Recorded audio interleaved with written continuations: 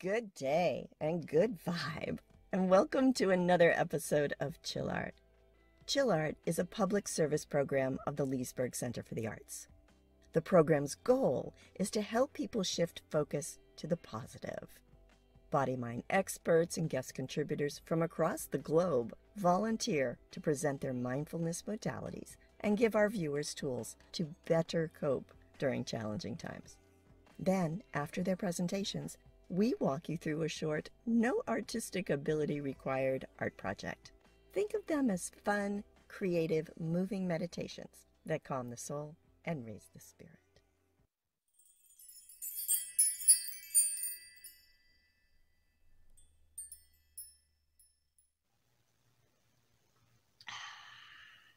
Well, that'll do it. Are you ready? Okay, let's go. Hi, my name is Patt Gilmore. I am actually the program director for the Leesburg Center for the Arts, and I am a meditative drawing instructor as well. So I am going to be your host for this episode of Chill. So today we're going to cover three different kinds of meditative drawing. The first one the first one we're going to go over very quickly because there's an awful lot on the internet that you can pull up and help support you. But we'll briefly talk about it. The second one is we're going to talk about mandalas. That's right. This is what I instruct a lot of um, my workshop attendees on how to do. And in fact, you can go to episode 15 and learn how to do them in pen and ink. But well, we're not going to do the tutorial on that today. Today we're doing the tutorial on number three, which is neurographic drawing. Now, neurographic drawing is a type of art therapy, and you can use it to release negative emotions, and you can also use it to set your intentions and your goals. So it's super interesting. It's going to be a really fun tutorial so what you need to do after I finish this introduction, I'll tell you when, go make sure you have a writing implement and a piece of paper. We'll touch on that in a second. So first up, I'm caffeinated. So art's fun, right? Yeah, let's make it fun. So the first one I want to talk about is Zentangles, otherwise known as Zen doodling or uh, tangling. And again, you can go on the internet and you can just put any of those words up and you can get YouTube instructions, you can get practice sheets. It's gotten very, very popular. You'll recognize it, I'm sure. So I like to do it and it is really enjoyable to me. The only thing is with Zen tangling, doodling, tangling, I can only retain about 15 of the patterns at any given time. I actually need to open up a little slit in here and make a USB port so we can put a portable hard drive to get into my brain so I remember it. So when I'm doing tangling, since I'm a beginner, I usually have pattern sheets in front of me. So you can get them off the internet, you can print them, and they'd be really helpful for you. So that's all I'm going to say about Zentangle, tangling, doodling. Um, I'll let you go investigate that on your own, or maybe we'll do a separate uh, art tutorial about it. Number two, we're going to talk about mandalas. Now, this is my art. I've been doing them for years and I instruct people on them.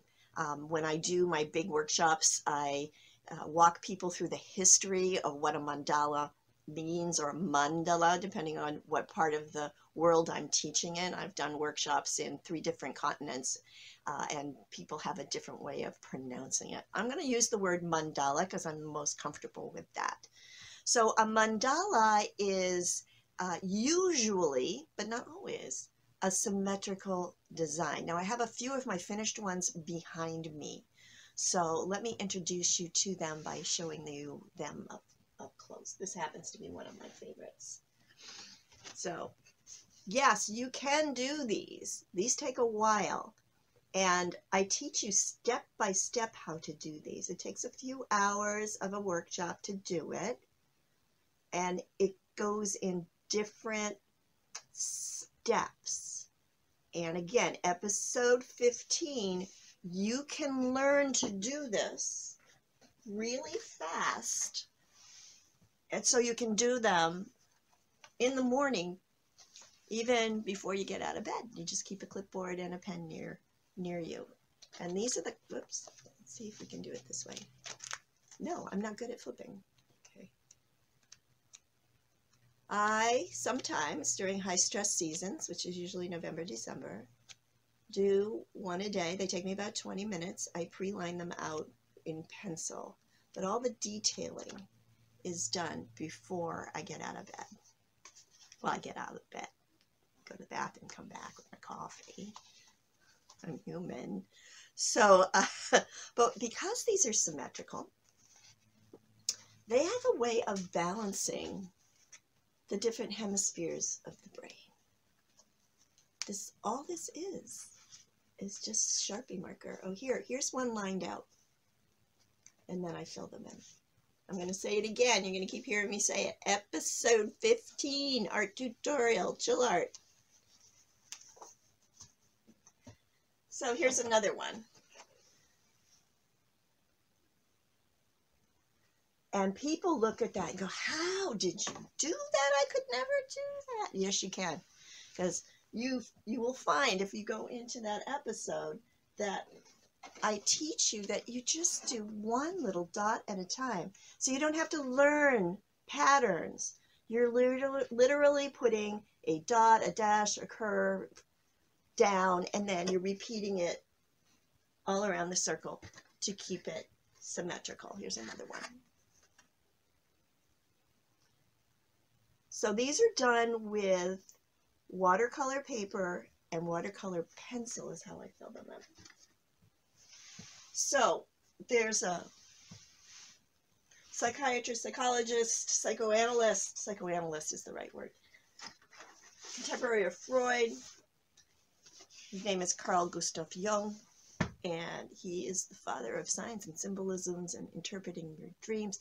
He had his clients, his patients, uh, drawing mandalas every day.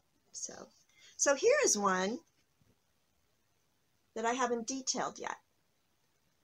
So the first stage of this is to draw the outline and then put in the ink. Here's another one. This one just makes me happy. Then, then what you do is erase all the pencil lines.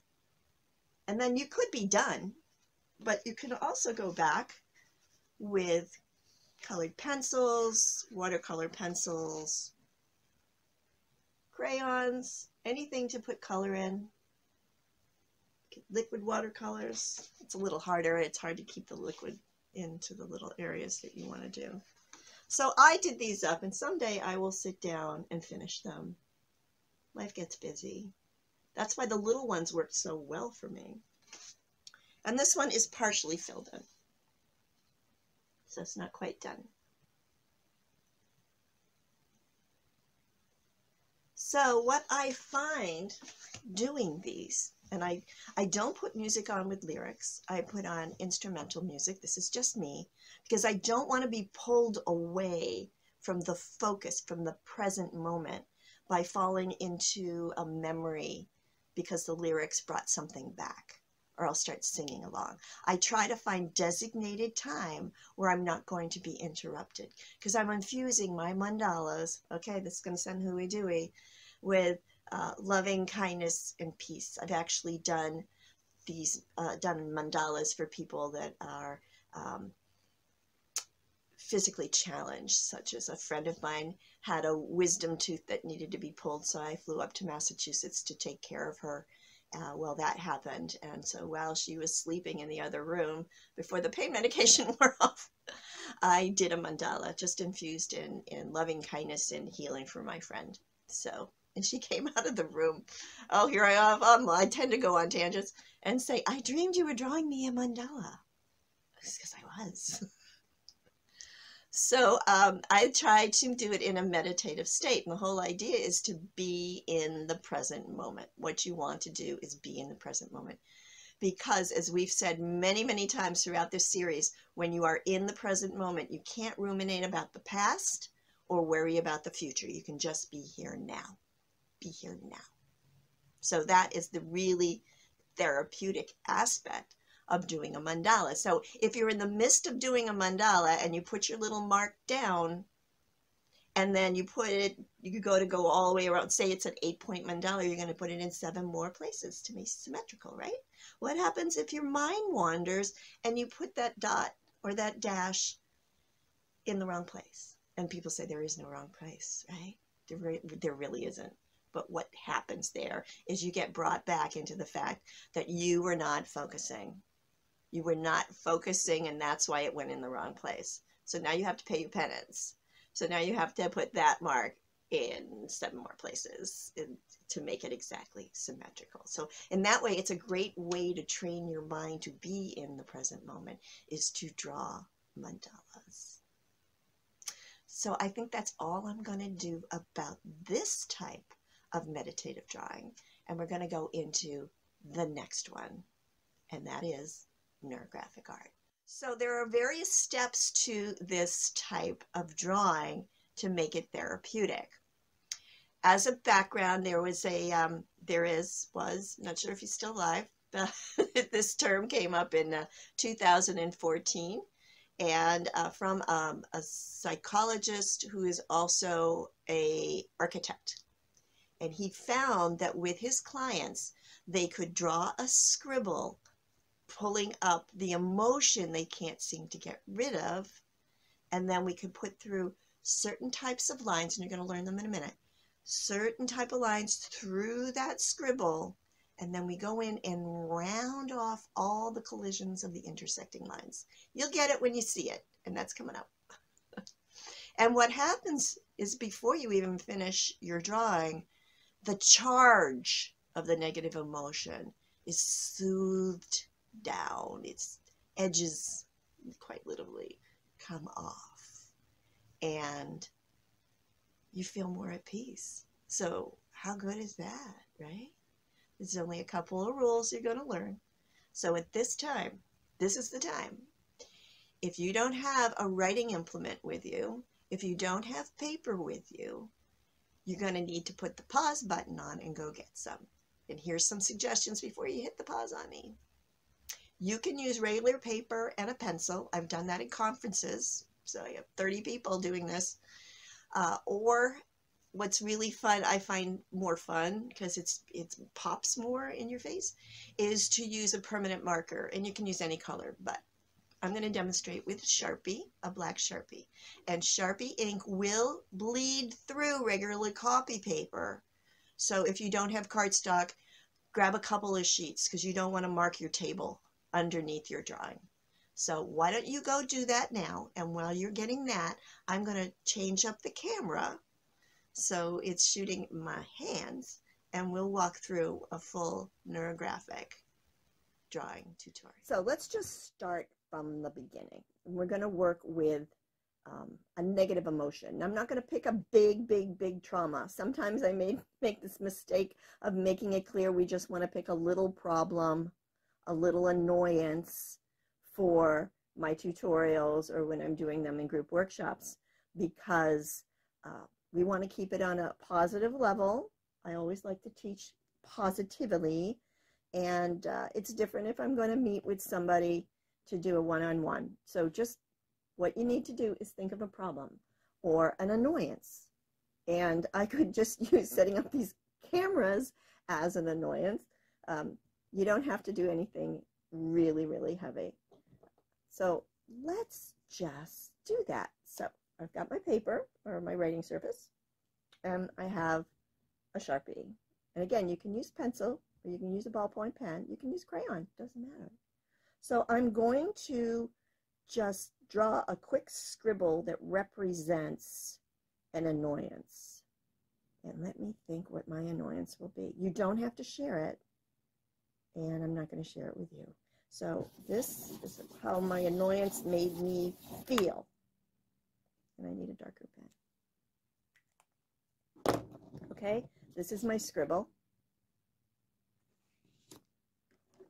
And luckily I have this blotter because I have to find a pen that isn't drying out. That one looks good. Okay. Next, what we're going to do is put through this entire drawing neurographic lines. Now, neurographic lines have qualities, and it's easier to tell you what a neurographic line isn't than it is to tell you what it is. A neurographic line is not straight. A neurographic line is not a curved, repeated pattern. So it's not repeating like this. And a neurographic line goes in one direction. It doesn't go back upon itself. So think of that as looping. It does not do this. So that is what a neurographic line isn't. Camera one, camera two. A neurographic line, and we're going to start them all off the paper and you'll see why a neurographic line goes in a, mm, how do I put this? In a direction that you don't want it to go. Your subconscious mind is wanting it to go this way. Well, we're going to make it go where it is not expected to go. Because this whole process has to do with tricking your subconscious mind out of pattern making.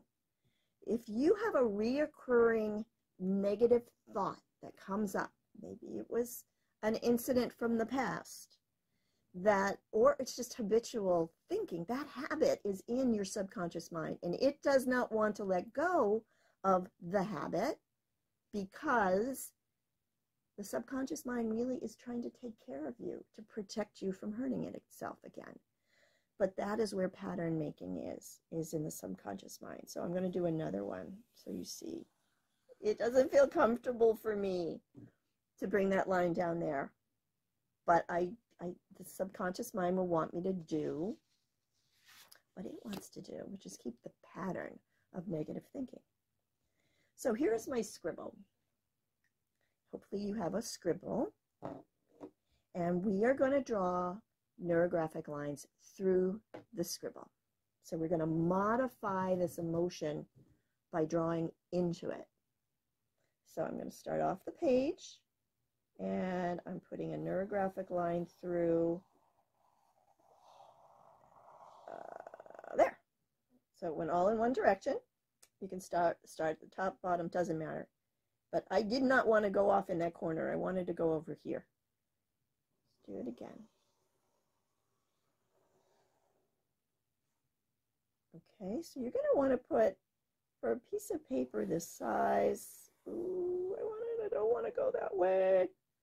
I'm messing with my subconscious mind.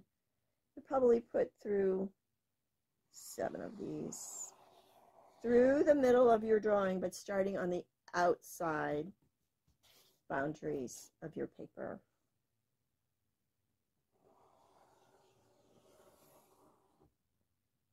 So they're curved. The lines uh, do not loop back upon themselves. They don't go in a repetitive pattern, and they are definitely curved, not straight. So that's probably good. How, how do you like your art so far? This is not about the finished result. Everything that I teach, almost everything I teach in the art world, is about process. It's about being in the process. And in this case, it's about being in the here and now. And the finished result is not not really important. That's different. If you want to take a watercolor class that concentrates on making a great landscape, that is different. This is process art. My mandalas are process. The Zentangles are process. And neurographic drawing is definitely a process. So that is your first step or your second step. Scribble, meditate, scribble, and then put neurographic lines through it. The next thing we want to do, and here's the true transformation that starts to happen, is we want to round off any hard angles. So each of these lines that have come through here has collisions. These are the intersections. These two energies have collided. They've collided with themselves, the neurographic lines, and they've collided with the annoyance you just scribbled. So you want to make everything rounded off. That doesn't mean make circles. You can, but you're going to round off any collision of two lines because they become sharp. Notice this is a very sharp angle. So I'm going to go in there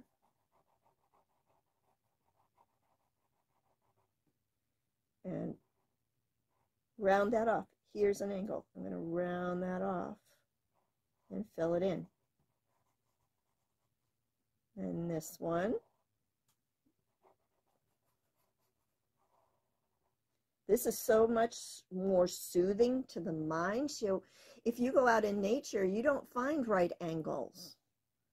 Mother Nature makes things with curves. Come around to this collision. I'm filling that in. And yeah, I could just go over my lines, make all smooth. So that is an example of a neurographic rounding. And we're going to do the entire paper. That's why we don't want to start with a big piece of paper. Take forever. And if you find an annoyance, maybe you're at work, grab your post-it notes. There's small pieces of paper. Put a scribble on it and then round it. So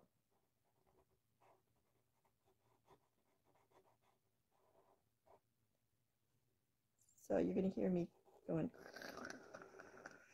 All I'm doing is making that darker because my pen was running out. Okay.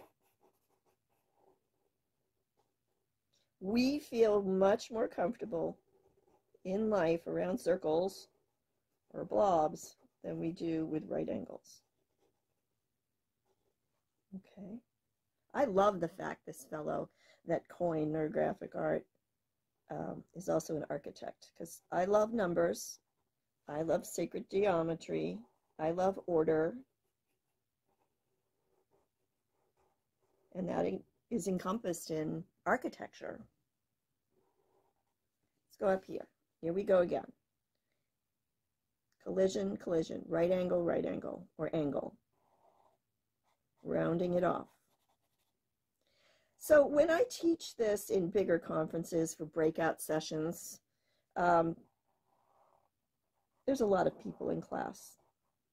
And I'll go around and I'll take a look at what they've done. And when they've done these little itty bitty roundings, these little tiny roundings. And it's valid. It's what I told them to do. But use some ink. Don't be afraid of using ink. Go ahead, go in here and get bold.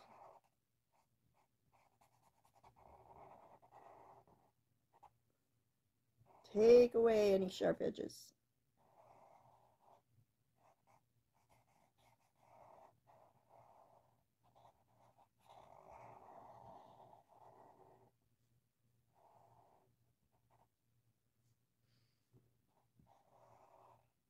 I'll take huge chunks of those angles away.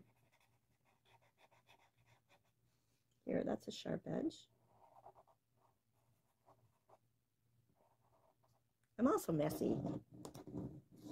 My mandalas are very, very precise. I get messy in this.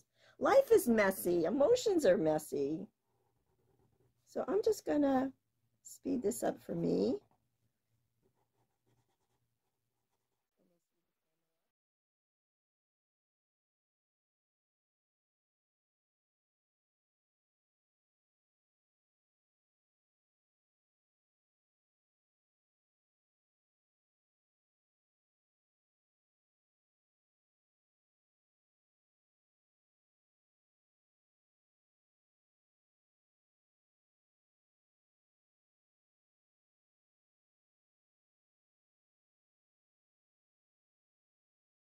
Be the next step?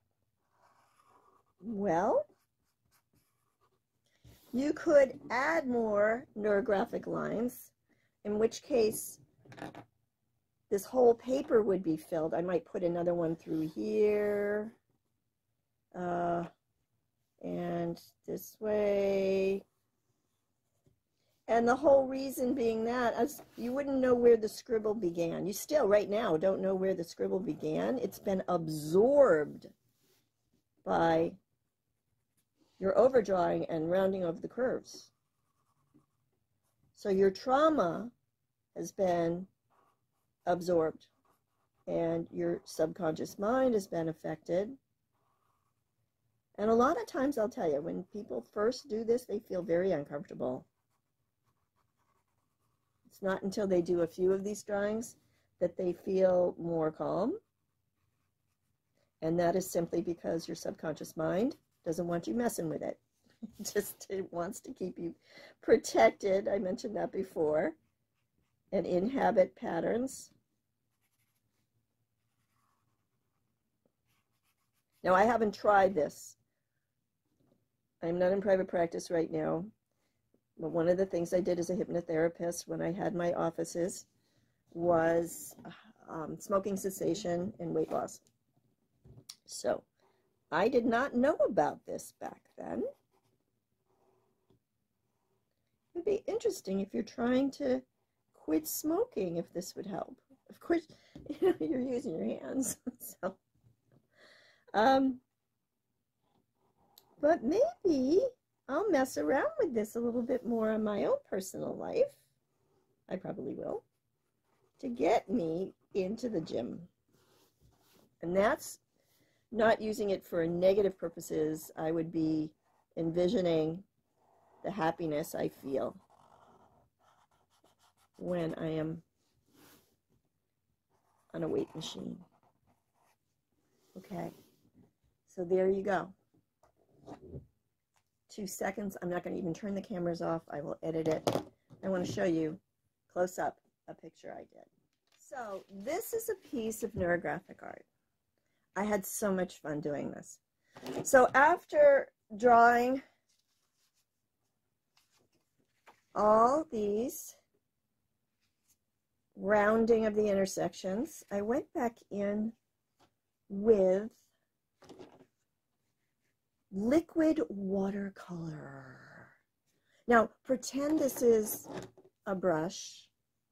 What I did in each of the places is I put water in each of the blurbs and then I took a eyedropper bottle of color and I put a couple of colors in each one and they blended together and then after they all dried I went in and I put more neurographic lines in only so that I didn't have a big mass of pink here pink and red here I broke them up more meaning I went in and said, ah, let's make, put some more ink in. Remember, we need to use a lot of ink. This is not the right size. I just went in and I separated these.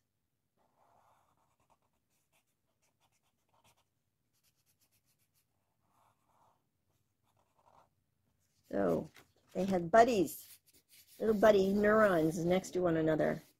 This gave me so much joy. At the end, I just look at this. This is one of the most favorite, favorite things I've done in a long time, as much as I love my mandalas. Um, this gave me great joy. So I turned my annoyance into a thing of joy. So it's, I don't even remember what the annoyance was that I doodled. Uh, but I love it. So, this is what I would like to tell you. Draw your neurographic drawings.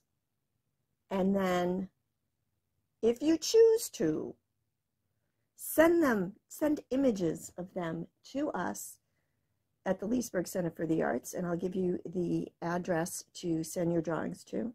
So we can put them up under episode 31 on our Chill Art page. and people can see what you've done. You don't have to tell us what your emotion was or whether you were trying to put your intention and goal setting down and put it, make it happy. Uh, the email you want to send that to is lcfa dot buzz at gmail.com. That's lcfa dot buzz at gmail.com.